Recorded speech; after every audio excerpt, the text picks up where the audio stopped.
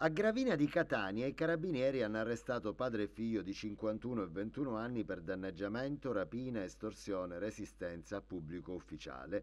Sono accusati di avere tamponato la vettura di un imprenditore, di averlo picchiato e di avergli rubato l'auto pretendendo 3.000 euro per la restituzione.